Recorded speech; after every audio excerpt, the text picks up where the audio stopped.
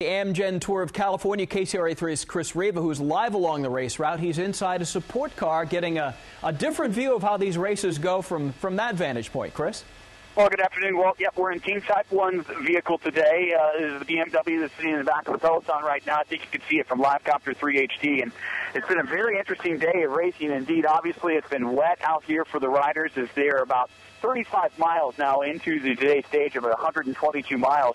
In the car currently is kind of like the coach, if you will, or the team director, and that's Vasily Davidenko. And then Phil Southerland's the CEO of Team Type 1. They are kind of the coaches, if you will, up in the front seats, and we have a mechanic in the back seat. And we literally, just before in the commercial break, had a rear tire change, or we didn't, the team did, had a rear tire change, and uh, the mechanic had to hop out, change a tire, and get the rider back on his way, getting back up into the main group. And that's why right now we're car 18, and we're alongside the rider that is trying to make his way back up to the main group. But joining us now is Phil Southerland. And Phil, how's the stage going for you guys?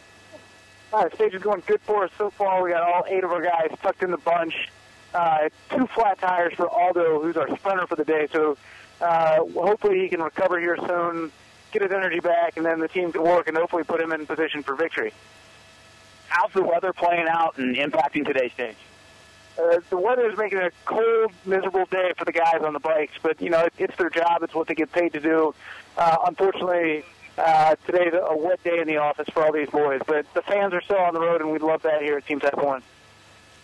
So it's been an exciting day so far as, as Aldo's getting his final water bottle. He's had a couple of flats today, so hopefully that'll be the end of his bad luck from the tire standpoint. I got to tell you, we got wheel sets, clothing, food inside the car. We'll have a complete live report for you coming up tonight at 5. We'll check back in a little bit later on, I guess, in the newscast as well, Walt. So it's pretty exciting here. It's also very calm. These guys know what they're doing. They're very precise with what they're doing. And only when a rider needs something is there any, any hint of it not being just a casual ride out here in Sacramento County into uh, into Calaveras County and then into Modesto eventually. Well, it's, it's, such a different perspective that you're getting, Chris, and very informative. All right, Chris Riva in a support car as they travel along with the riders who will be heading towards Modesto. 122